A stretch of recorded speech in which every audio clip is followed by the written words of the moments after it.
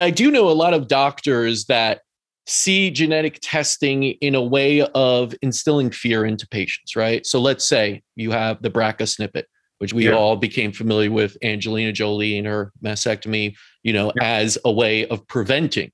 Whereas I, have seen, you know, recent studies and research showing it's a 10% increase risk of breast cancer as opposed yeah. to 80 or what it was. The data is always changing. Yeah. But sometimes you can make the case that if you get a, a, genetic test back and you see there are these things that are, hey, BRCA, I have this wrong, I have this off, you know, you start yeah. to put the fear and the belief that you will get yeah. the disease.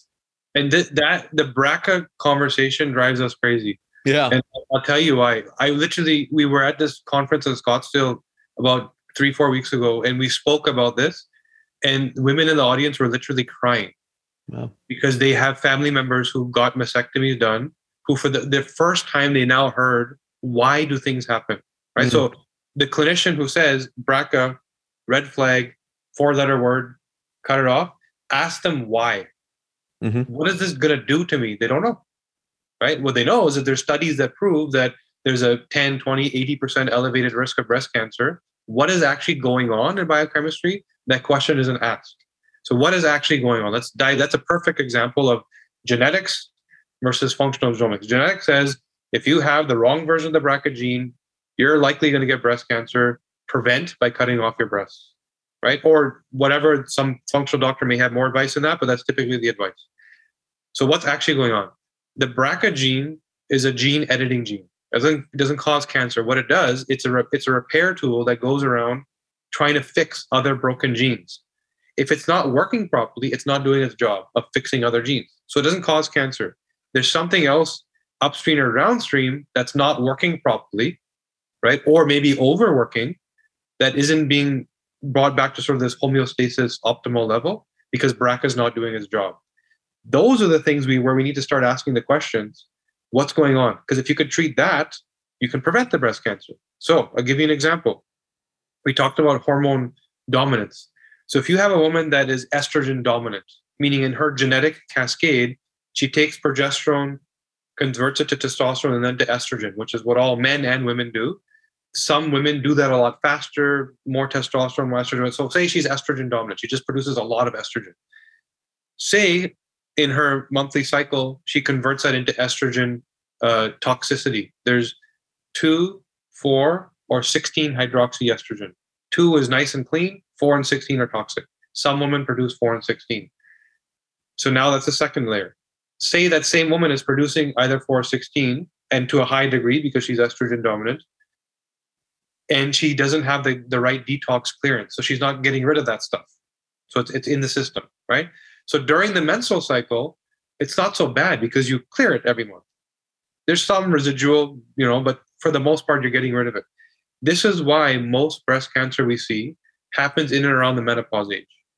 If you really think about it, it's around that time because that's the time where that woman that's been producing this toxic metabolite that was most likely on that birth control pill for a long time as a you know north american 85% chance she was taking the birth control pill for a long time which is more estrogen, more metabolite, right?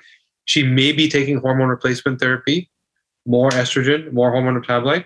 And at the menopausal age, she no longer has a cycle to get rid of it.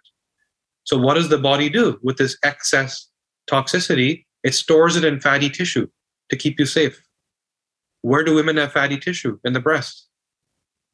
Right? What starts to happen when you have this high level of toxic insult next to all this, the glands and everything that were never designed to deal with that. And then all the genes go to work trying to do things, and your BRCA isn't working properly to help repair and fix it. up. That's the, your recipe for breast cancer. BRCA was like the last thing, you know, on that. It's like, okay, now that something's truly damaged, I got to go fix it, but I'm lazy and I don't work, so I'm not going to fix it, right?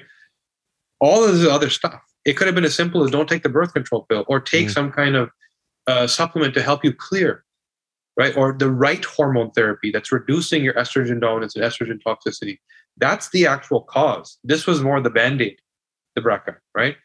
So that when you ask a simple question, well, why does BRCA have this increase? That's the answer. Well, what's one? There's other, there's other answers also. That's one of them. Now all of a sudden, mastectomy isn't necessarily the only solution, right? There's other solutions that are probably going to, they're also going to fix other things fibromyalgia, crazy menopause, you know, brain fog, joint pain. This estrogen toxicity leads to so much other stuff, right? So that's the way we think about genetics. Yeah. And why is such a powerful question when it comes to health and medicine that people yeah. just don't ask enough? And yeah. I, I think it's it's a valid question to ask any practitioner, any doctor, is to why do I have this condition? It's not yeah. that I have. Everyone's looking for the diagnosis, and then it's like, okay, we got the holy grail of it. We'll just put you on a treatment plan for diagnosis X. But yeah. no one really stops to ask, well, why do I have this? Is yeah. it really my genetic? Is it other things going on? What's going on that led to this? And I think that's what you're learning is the why lets you understand a lot more about yourself. And that's exactly what you guys are trying to do.